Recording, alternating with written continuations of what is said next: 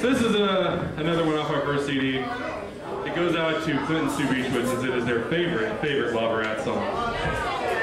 It's called Blowtorch.